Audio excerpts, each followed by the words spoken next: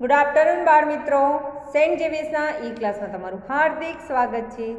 આજે આપણે ધોરણ બેમાં વિષય સામાન્ય જ્ઞાન, એમાં પાઠ નવ, દસ. આપણે દસમો પાઠ શીખવાના છીએ. અત્યાર સુધી પાઠ આપણે નવ સુધી શીખી લીધું છે. દસમો પાઠ આપણે શીખવાના છીએ. કપડાં, પગરખા અને અન્ય વસ્તુઓ. હવે અહીંયા છે ને કપડાં, પગરખા અને અન્ય વસ્તુ વિશેની માહિતી મેળવવાની છે કે કોને શું કહેવાય. અહીં કેટલાક કપડાં, પગરખા અને અન્ય વસ્તુઓના ચિત્રો આપેલા છે. દરેક ચિત્ર ઓળખી તેનું નામ બોક્સમાંથી પસંદ કરી ખાલી જગ્યામાં લખો. હવે અહીંયા તમને આ બધા નામ આપેલા છે. એ નામ સામે ચિત્ર પણ છે નીચે. આ ચિત્રને ઓળખી અને એને શું કહેવાય ને એ તમારે લખવાનું છે. આ તો બધાને આવડે એવું છે. જો આને શું કહેવાય? તો આ છે ફ્રોક. તો અહીંયા નીચે તમારે ફ્રોક લખવાનું છે. બરાબર? ત્યાર પછી આ જોતાં જ ખબર પડી જાય શું કહેવાય આને? સેન્ડલ. તો જો અહીંયા સેન્ડલનું પણ ઓપ્શન ક્યાંક ને ક્યાંક આપેલું હશે. આવ્યું છે ને, સેન્ડલ. પછી આ, તો આને શું કહેવાય? છોકરાઓ પહેરે, છોકરીઓ પણ પહેરે ને? ટી શર્ટ પછી આ નીચેનું આ શું છે? આને કહેવાય સ્કર્ટ. જો અહીંયા આપેલું છે ને સ્કર્ટ, તો આ રીતે તમારે ઓળખી ઓળખીને નામ લખવાના છે. મીન્સ પીડીએફ મોકલશે, પણ આ તો તમને આવડી જાય એવું જ છે. સાવ સહેલું છે, બરાબર? આ રીતે તમારે લખવાનું છે. હવે જો આ ચિત્ર ઓળખી અને એના નામ લખવાનું છે, આને શું કહેવાય?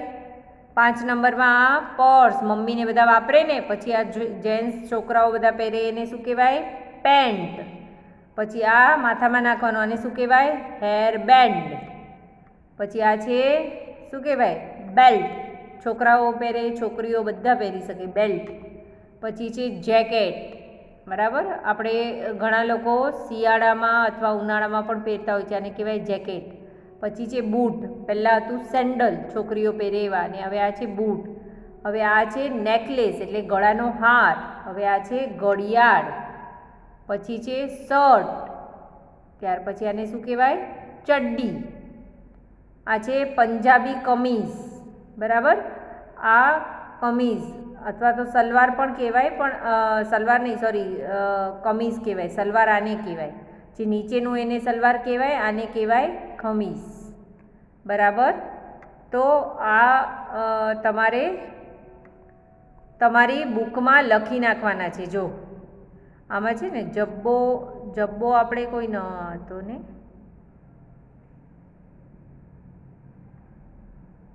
હા, તો આ જે તમને અહીંયા આપ્યું છે એ તમારે તમારી બુકમાં લખવાનું છે. બરાબર? બધાને સમજાયું? ઉપર આ આપ્યા હતા, એમાંથી જ આપણે ગોતી ગોતીને આ બધા જવાબ લખ્યા છે.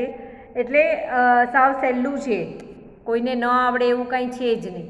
તો તમારે આ બધું તમારે લખી લેવાનું છે બુકમાં, પહેલાં વાંચવાનું છે સરખી રીતે, સમજવાનું છે અને પછી લખવાનું છે, બરાબર? સાવ સહેલો પાઠ છે, આમાં કાંઈ ન આવડે એવું છે જ નહીં, બરાબર ને?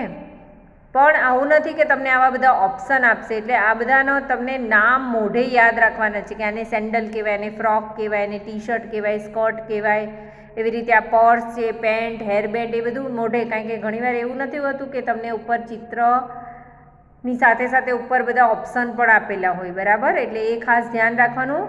બાકી આજે આની સાથે પાર્ટ દસ આપણો સામાન્ય જ્ઞાનનો પૂરો થાય છે. હવે નેક્સ્ટ વિડીયોમાં આપણે અગિયારમો પાઠ શીખીશું. ત્યાં સુધી આવજો.